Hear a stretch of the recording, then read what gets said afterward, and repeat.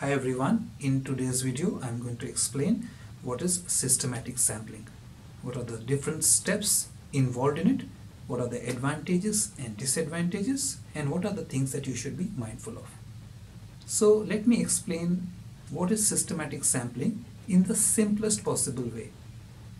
The simplest possible way is when a researcher goes through their list of participants and decides to draw out a sample by a pre-decided interval. For example, you have a list of 100 research participants and you decide that you are going to ask your questions from every 10th participant. Now this is a very simple explanation. There are more details to it. It has to be as the word itself says systematic.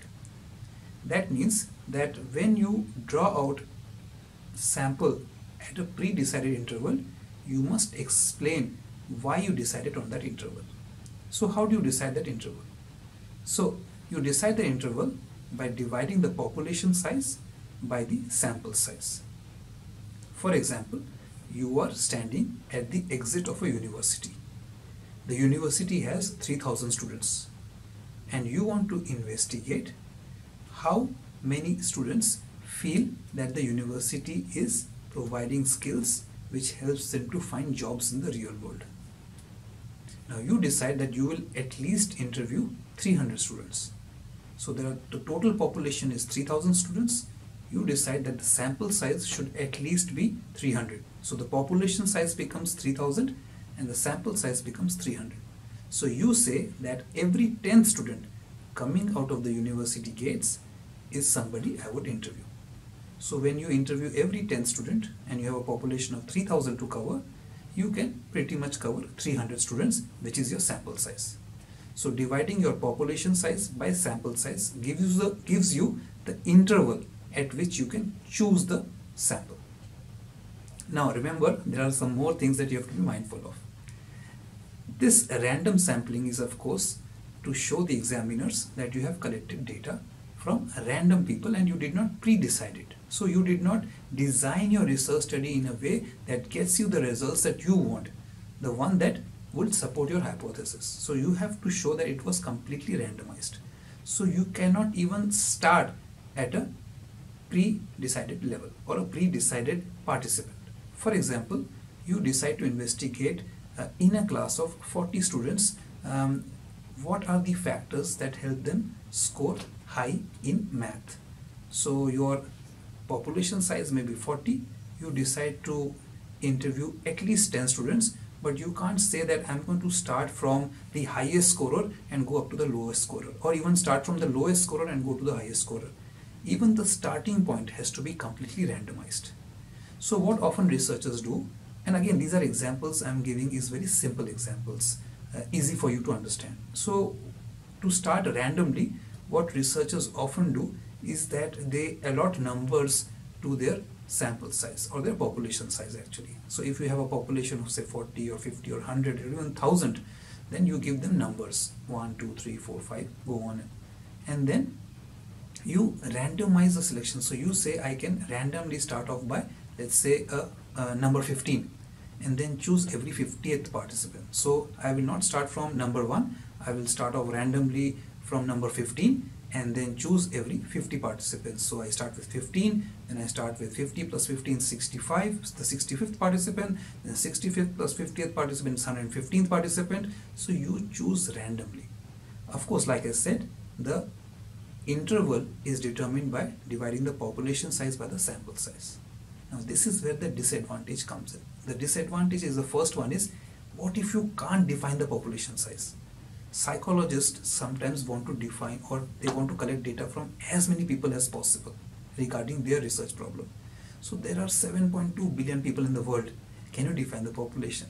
So if you can't define the population, uh, defining the interval becomes very important because if you can't define the population, uh, you may have a sample size, but then how do you divide uh, unknown number by the sample size to get the interval? So that is your first disadvantage. You should be able to define the population size, be able to justify why a certain population size was chosen. The second problem is what if the students are not randomized enough? Not students, sorry, research participants are not randomized enough.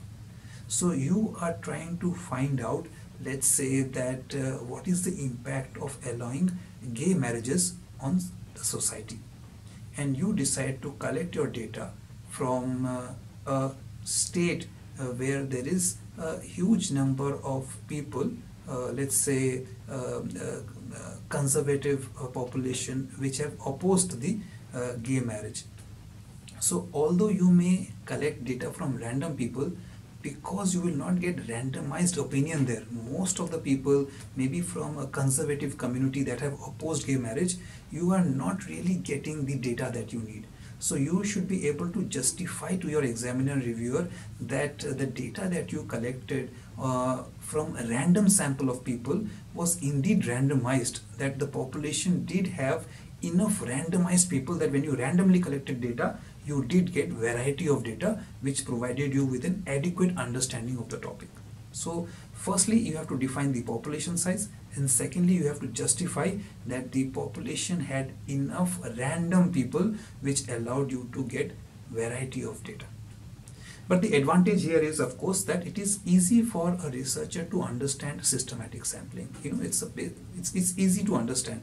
It's easy to implement if you know the population size and sample size. It is easy for you to justify to your examiner and reviewer that you have randomly collected data um, uh, because the, the, the if you pre-design or you you pre-design or you show in any way that you have collected data which is biased and which is only purely from the point of view of supporting your hypothesis then the examiner and reviewer will not be happy. So uh, systematic sampling allows you to randomly collect data as long as you can justify the steps. So normally there are steps to it. Like i said you know i can explain the steps. The steps is firstly um, define the population size. You can do that. Even if sometimes you are doing um, a research in psychology and you want to collect from a large number of people you can say that i am targeting uh, um, you know 3000 people and you can justify reasons for that of course. You can you can say that you know this is the population. Maybe you can choose a suburb that you are collecting data from. You can choose a, a, a school that you are collecting data from. You can choose a, a religion that you are collecting data from who live in a particular area. So you can define the population size so define the population size uh, and then uh, choose the interval by dividing the population size by the sample size. So justify the sample size as well. Sample size is can be justified. So qualitative research quantitative research has you can find many articles. Correlation research has articles. You know for example correlation research says at least 30 participants uh, should be chosen. There are many researchers. Of course um, there are arguments for and against it but like i said you know you can justify the sample size uh, so population size sample size is defined then divide population size by sample size get the interval uh, and then uh, give numbers to your population and then choose randomly. Remember that you have to start from a random point as well. You can't even show that you've started at a pre-decided point. and then when you collect the data you can show that you have engaged in systematic sampling. Uh, in my next video I will explain the difference between systematic sampling and cluster sampling.